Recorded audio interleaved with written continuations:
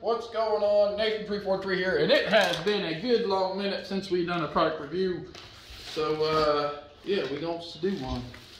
I think this would be the easiest way to open this. So we're going to open it here. I don't have my knife with me, so I'm using these scissors. Just to open it, slide everything out. Ooh, it's all a nice foamy thing. Oh, actually, that's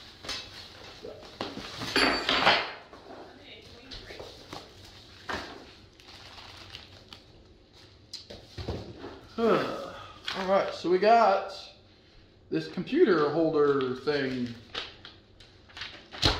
We're gonna follow the instructions step by step. We got table things if you want to lock it to a table. I got a cool little logo thing. We got these. We got wing nuts. We got. Ooh, that's uh. That's a very thick of steel. That's the top the bottom. Some more stuff. What do we here? Uh, kind of cool. It's all in styrofoam. Got that piece. Those pieces. This piece. And that piece. And those pieces. Yeah, bud.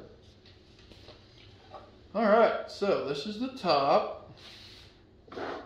This is what will keep the laptop from sliding off we want, this is the outside of that side. This is that one, so those go like that.